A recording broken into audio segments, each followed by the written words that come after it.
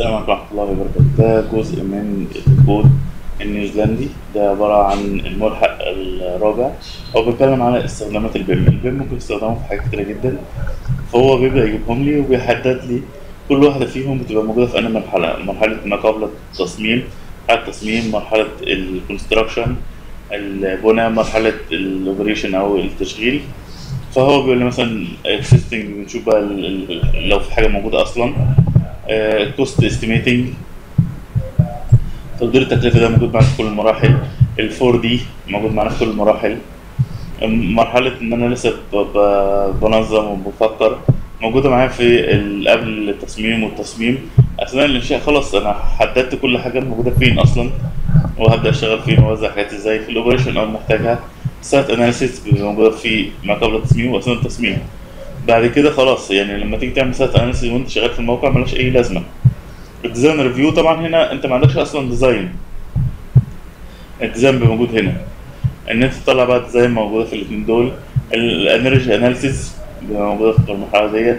ال sustainability طبعا بعد كده لو جيت تستخدم ال sustainability في مرحلة ال construction هتكلفك كتير لأن أنت خلاص جبت المواد وبدأت شغل. ال 3 دي كوردينيشن طبعا لازم يكون عندي ديزاين عشان أعمل ال 3 دي كوردينيشن السايت أثناء ال- الموقع. الكونستراكشن سيستم ديزاين التشتغل فابريكيشن بتقول للمصنع يقطع لك حاجات إزاي وكده. دي بتاعت الكونستراكشن 3 دي كنترول واند بلاننج ريكوردنج موديلنج خلاص أنت بدأت تحط الحاجات في قلب الموقع وتحدد أماكنها وتشتغل في سيرت مانجمنت ال asset management هتدير كل الأصول اللي موجودة عندك في المشروع وهكذا كل الحاجات دي space management وكل الحاجات دي خاصة بالتشغيل. بعد كده بيشتغل كل واحدة فيهم بيشرح لك إيه القيمة اللي هتضيفها وإيه الحاجات اللي أنت محتاجها. يعني على سبيل المثال مثلا هنا.